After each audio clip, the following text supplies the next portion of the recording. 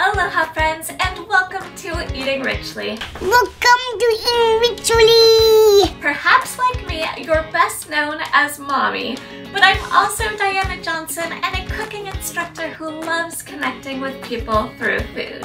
I thought running a full-time family business was crazy enough, but then we entered the world of medically complex parenting. Through it all, while making treats with the big kids, dinner for the family,